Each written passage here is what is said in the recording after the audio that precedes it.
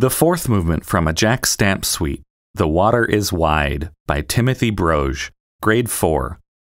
Each movement of a Jack Stamp suite can stand alone on a concert program and is available for purchase separately.